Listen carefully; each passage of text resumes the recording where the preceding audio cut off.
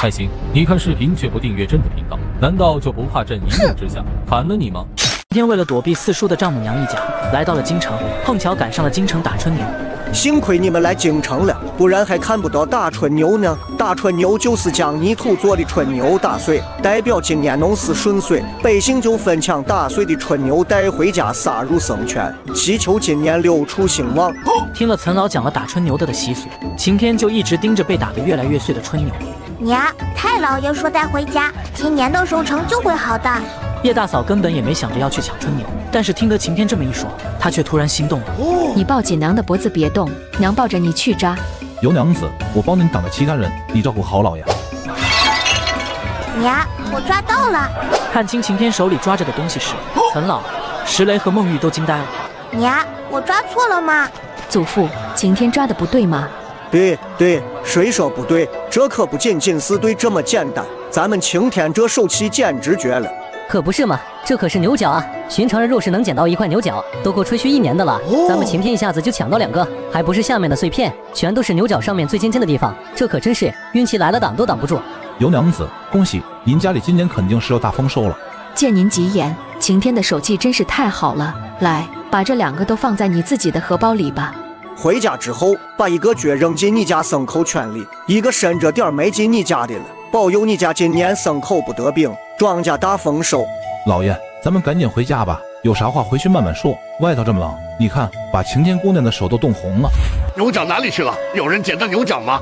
牛角谁捡到了？能不能说一声吗？弄得一堆人在这儿找，真是服了。我这捡到一块牛角根部的碎片，牛角尖连个影子都没看见。不错，你还捡到一块，你这块卖不卖呀？老子好不容易抢到的，卖什么？哎，你这人怎么上手就抢啊？别跑，还给我！老爷，咱们今个儿晚上吃春盘，但是跟安娘子就订了两个春盘，怕是不够吃，不如我再去买点别的菜吧。京城立春之日有吃春盘的习俗，所谓的春盘，便是将春饼和各种卷饼吃的菜品同时摆在一个大盘子里。安娘子便是附近做春盘做的最好最有名的。岑老往年都是让孟玉早早预定，今年自然也不例外，早就订了两个。今年预定的两个春盘，正好你跟石雷一人一个。你先陪我出去一趟。老爷，您先午休一会儿吧。不用了，我一点也不困。老爷，您让我陪您出去，总得告诉我去哪儿吧，不然我该往哪儿赶车呢？去买菜。晴天好不容易过来，又正赶上立春，哪能让孩子吃外头买的春盘呢？俺娘子的春盘能有我做的好吃？那自然是不如您的。您做的好吃有什么用？您平时也不做啊。这都多少年立春末下过厨啊！今天若不是晴天姑娘来了，还指不定什么时候能有这样的口福呢。老爷，您难得下厨，就把我跟石磊的一起带上呗。那预定的春盘不就浪费了吗？哎呀，我拿去送人便是了，没必要非得自己吃不是。老爷，您就行行好。安娘子的春盘咱们都吃了好几年了，倒是您做的春盘我们都好久没吃过了。行了行了，真是受不了你，你就生怕累不着我。太好了，今晚终于有口福了。中场休息。各位看官，如果喜欢这个系列，请为影片点赞和订阅频道。你的支持是博主更新的动力。博主支持评论区催促更新与剧情讨论，同时考虑根据大家的反应来决定是否继续更新后续剧集。只要有催更的呼声，就会更新后续。叶大嫂得知岑老在后厨忙活，赶紧过来帮忙。你赶紧去菜窖子里把我去年秋天放进去的沙窝萝卜找出来。这要春少了，什么可都不能少了。这沙窝萝卜，叶大嫂从来没听说过这个萝卜，好奇的很。这沙窝萝卜是天津卫的特产，你别看它只是萝卜，那可是好东西。根据书中记载。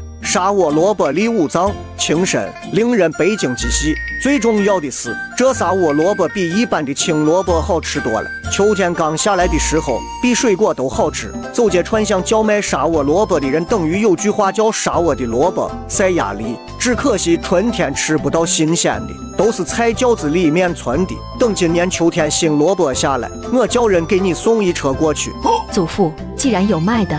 哪里还用您给我送去？我自个儿买就是了。那可不一样，我每年都派人去天津卫那边的头上买。你不认识啥窝萝卜，可别乱买。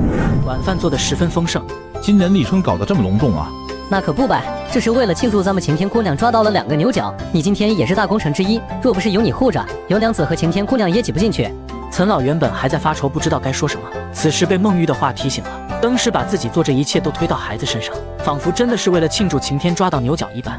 难怪祖父之前说沙窝萝卜赛鸭梨，我吃着还真比鸭梨还要好吃。你尝尝，这个萝卜跟咱们家里吃的不一样，可好吃了。晴天嚼了两下，脸上的表情就变了，就把手里剩下的一块也塞了进去。慢慢吃，不着急。太老爷的地窖里还有好多呢，你若是爱吃，等回去的时候让你娘给你带一筐回去。爱吃就多吃两块，哪有连吃带拿的？这是我要给孩子的，关你什么事？不要你管。晴天更是一口气吃了好几块萝卜，直到小肚肚实在装不下了，才依依不舍地收回了手。岑府这边的立春过得其乐融融，荣西村那边的叶家此时却是冰火两重天。叶三嫂按照叶大嫂教的炒了几个菜，烙了春饼，依旧先给住在西屋的郭家端了过去。看着这一顿桌上又是有菜有肉，郭老汉觉得自己的心口窝又开始难受起来。自家闺女做出那种事儿来，老叶家非但没把自己一家人扫地出门，还每天这样好吃好喝的招待，简直想找个地缝钻进去。郭世杰也有些食不下咽，一来跟郭老汉一样，觉得自己配不上老叶家这样的招待；二来他也开始忍不住为今后的生计而犯愁。郭家早就山穷水尽了，之所以能一直走到京城，全靠等找到凤英就好了这个念想而撑着。郭老汉原本打算先厚着脸皮投奔女儿女婿，然后再慢慢看看有什么赚钱的营生能做。可现在郭凤英人都没了，还是因为干出那种见不得人的事，自家就算脸皮再厚，也不可能非要依靠叶老四。就这么离开的话，难道要一直乞讨下去不成？爷俩食不下咽，郭老太太和两个孩子却是吃得满嘴满手的。你们就不能稍微注意点？菜汤都弄到衣服上，这里头有油水儿，不好洗着呢。反正也不是咱自己的衣裳，洗也不用你洗，管那么多干啥？你这话是啥意思？甭管是谁的衣裳，人家借给你穿，你就得好好珍惜，哪能像你这么霍霍人呢？你还吃不吃了？不吃的话，这张饼我可吃了。吃吃吃，就知道吃。明天就要被扫地出门了，早饭有没有的吃都不一定。现在不赶紧多吃点儿，难道饿着肚子走回城里吗？郭世杰看着他们吃的狼吞虎咽，心里越发五味杂陈。他低头看向自己没有知觉的双腿，再一次怨恨起老天的残忍。但凡能让我能站起来，哪怕能跛着脚走路，我也能出去想法子赚钱养家。可如今成了这样的残废，除了给家里人增添负担，简直可以说是一无是处。